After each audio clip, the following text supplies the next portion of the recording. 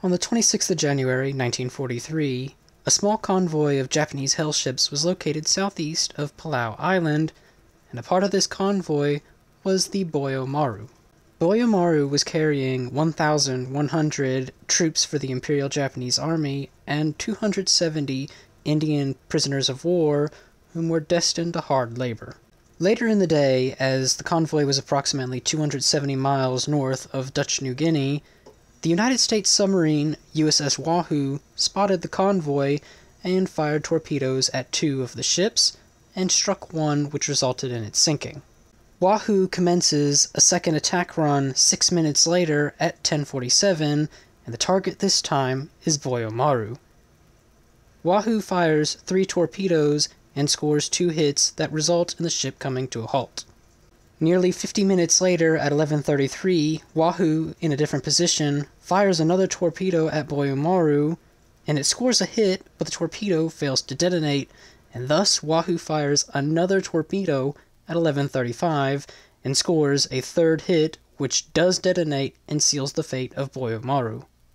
It is estimated that around 1,000 of Buyo Maru's occupants are dumped into the sea as it sinks. But at this stage, Wahoo remains submerged. It was still tracking another ship in the convoy, and eventually a Japanese oil tanker comes into sight and it begins tracking it as well. However, Wahoo is unable to close the distance with these vessels and is unable to attack. At 13:15, with Wahoo's batteries running low on power, Captain Morton decides to surface the submarine, and he ends up surfacing amidst the wreckage of the Buyo Maru and this puts the submarine in close proximity to the 20 lifeboats that were launched as a result of the ship's sinking. Morton ends up ordering the crew of the 4 inch deck gun to open fire on one of the Buyo Maru's motor launches, since this was the largest unit that was released from the sinking ship. Morton quickly finds out that the Japanese were not unarmed, and they open up fire with a 7.7 millimeter machine gun, and as a result, the Wahoo's 4-inch deck gun and a few 50 caliber machine guns open up on more of the Japanese lifeboats. By the end of the shootout, 86 Japanese troops were killed, one of Buyo Maru's crew members were killed, and all 270 Indian POWs were dead. The next day, Chokomaru arrives at the scene and rescues the remaining survivors, and they are taken to Palau Island. Now, the timeline you've just listened to is what I refer to as the Buyo Maru USS Wahoo incident, though it is most popularly known as the Buyo Maru Massacre or the Buyo Maru Atrocity. Following the sinking of Buyo Maru, Morton would never necessarily explain why he shot at the lifeboats, but there have been pieces put out here and there that could possibly give an explanation. Morton's executive officer recalled Morton discussing the event like strategic bombing, where civilian casualties would be inevitable to prevent the enemy from building up its forces and attacking the Allies. Morton viewed that should the Japanese troops make it to their destination, they would eventually find themselves on the battlefield shooting at other members from the United States. Another explanation that has been placed forward is that Morton had a personal distaste for the Japanese. He did not view them as social equals and is what we would consider a racist.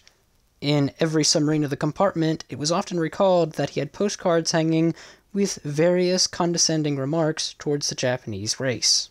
Admiral Lockwood, whom was a friend of Captain Morton and was also the commander of the submarine forces in the Pacific for the United States, claimed that the incident came out of the Japanese being resilient towards being rescued by Wahoo even though it has never been suggested that Wahoo attempted to rescue the Japanese. Captain Holmes, whom was a codebreaker located at Pearl Harbor and was also a good friend of Captain Morton's, claimed the Japanese fired on Wahoo first as it surfaced, but what must be kept in mind when looking at Admiral Lockwood and Captain Holmes' accounts is that neither of these men were present, and that means that their word has no meaning. Something that is interesting to note out of first hand accounts is that Wahoo's crew often claim that there were approximately 10,000 Japanese survivors in the water, and this included Captain Morton. But the Buyo Maru, as has already been stated, carried about 1,400 men that day. Inevitably, during the sinking, some of the men that were in the casualty count died. So this leaves open the question how many men were actually killed in the shootout and whom was being shot in the shootout, as it must be kept in mind there are Indian POWs involved here, and it's often claimed that the lifeboat shot at included POWs, but this cannot be confirmed, and since all of the Indians were killed in the sinking, it might be safe to assume that they were still trapped within the ship as they were contained in line of being prisoners of war. Unfortunately for this event, there were no legal proceedings brought up against Captain Morton or his crew for shooting at the Japanese lifeboats, and thus there is no official hand down on whether this was a crime or not. And since that is how history has left it, I do not intend to place input on that either, as it is left open to interpretation.